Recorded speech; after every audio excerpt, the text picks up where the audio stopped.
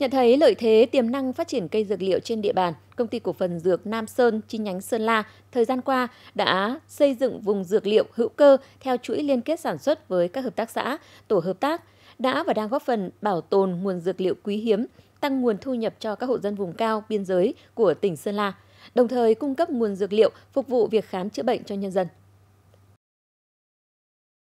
Năm 2021, công ty cổ phần dược Nam Sơn chi nhánh Sơn La được thành lập, đã liên kết thành lập các tổ hợp tác, hợp tác xã trồng dược liệu hữu cơ vi sinh theo chuỗi liên kết sản xuất với các tổ hợp tác, hợp tác xã ở các huyện Sốp Cộp, Yên Châu, Mường La, Quỳnh Nhai, Mai Sơn, Mộc Châu, trồng gần 50 ha dược liệu. Cấp ủy chính quyền à, địa phương xã Trường On đã xây dựng kế hoạch và cụ thể hóa kết luận à, 159 của Ban Thường vụ huyện ủy à, đồng thời phối hợp với à, các phòng ban của huyện triển khai mô hình gà đen và triển khai à, mô hình cà gai leo, cây dược liệu à, tại bản Nần Đít.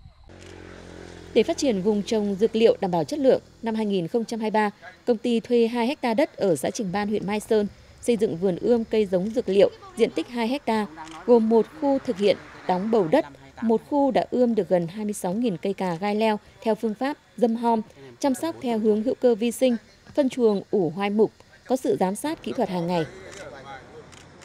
Cây là cây cây thuốc nên là cái sản phẩm nó yêu cầu về cái cái dư lượng bảo vệ thực vật trong đó là nó gần như tuyệt đối là không không có. Nên chúng tôi bắt buộc là phải phải áp dụng cái quy trình sản xuất theo mô hình hữu cơ. Còn tất cả các trong quá quy trình là chúng tôi làm đều có sự giám sát của anh em kỹ thuật của của công ty.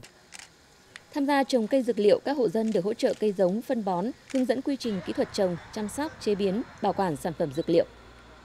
Chúng tôi hướng dẫn về cách chăm sóc, cách trồng và chăm sóc à, sử dụng phân hữu cơ vi sinh và cách thu hái bảo quản để có thể có cái sản phẩm dược liệu để bán cho phía công ty và công ty thì có cam kết bao tiêu toàn bộ 100% cái sản phẩm. Về phía thị trường chung thì hiện tại cái nguồn nguyên liệu dược cũng như là à, thuốc về đông y thì hiện tại là không đủ để đáp ứng cho nhu cầu nhân dân trong tỉnh cũng như là nhân dân à, cả nước.